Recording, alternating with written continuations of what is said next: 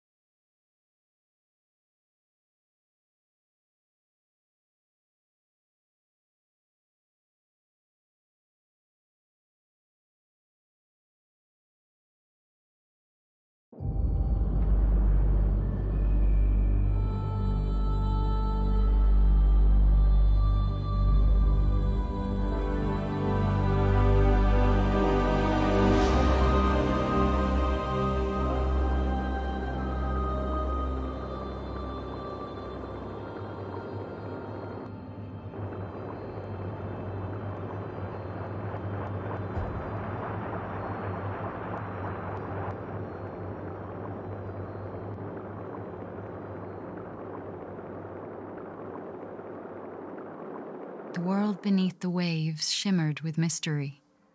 Glow kelp bulbs lit up around her as she passed by.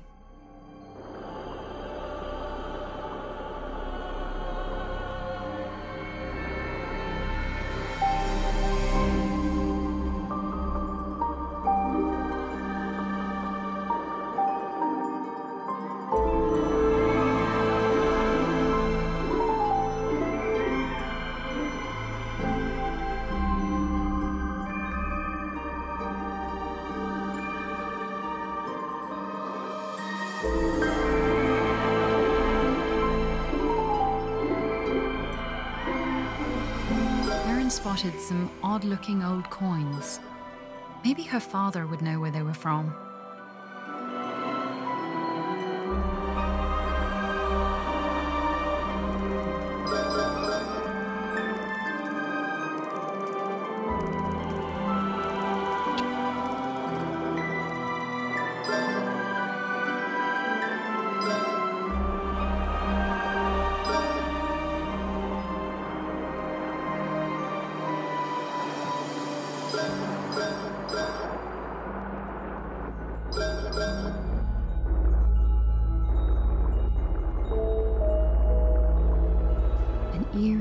Light flickered and danced on the sea floor like an underwater fire.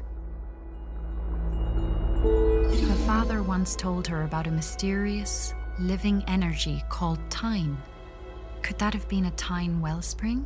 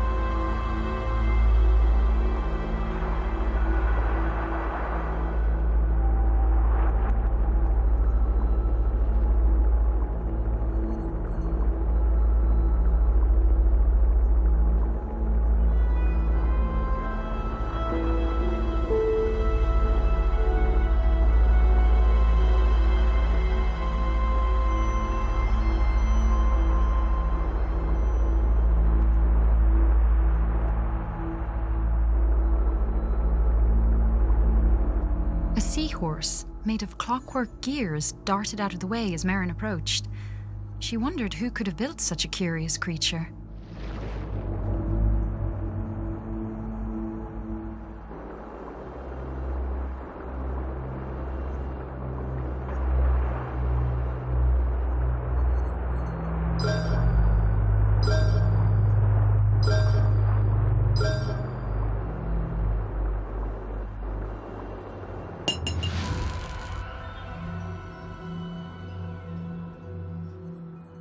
Approached a glowing scrap of metal and pulled it inside. It was claw shaped and had a strong magnetic pull. She took out her tools and attached it to a firing mechanism on her steering column.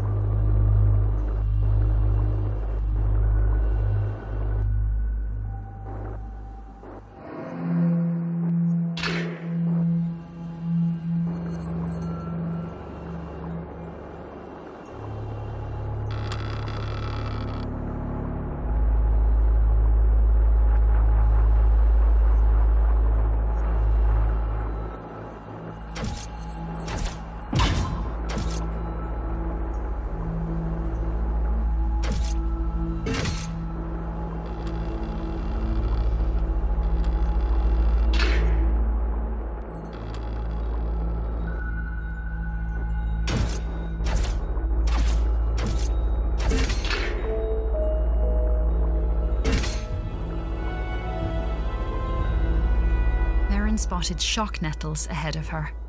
She had to be cautious, as the hostile creatures would attack her on sight.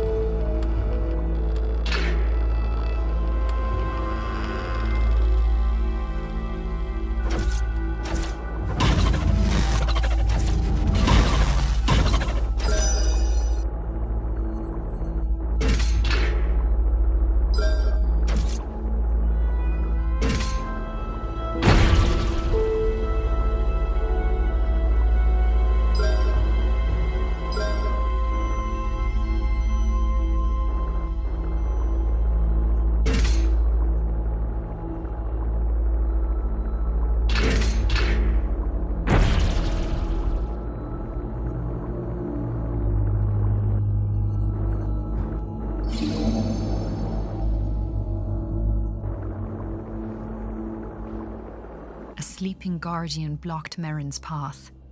She knew it all too well from her father's stories, and she knew it must never be woken.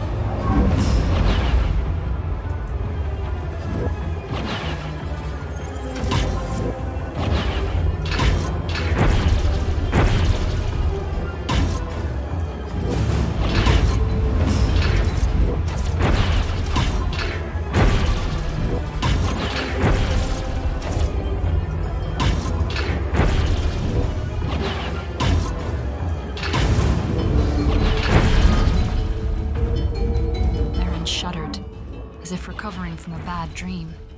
For a moment, she thought she had experienced her own death.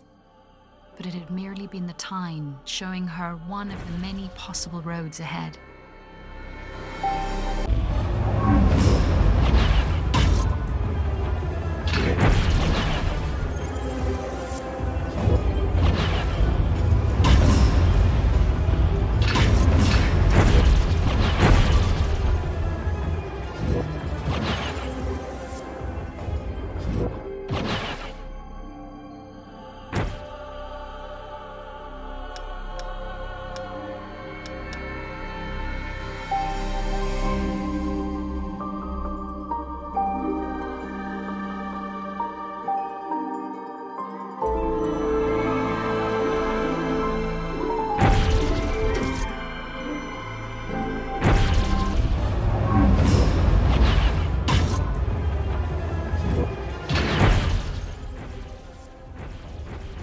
According to her father, the Guardians had been built by ancient undersea explorers called the Fomori. Merryn always thought the Fomori were a myth. Now she wondered if her father's other stories might be true.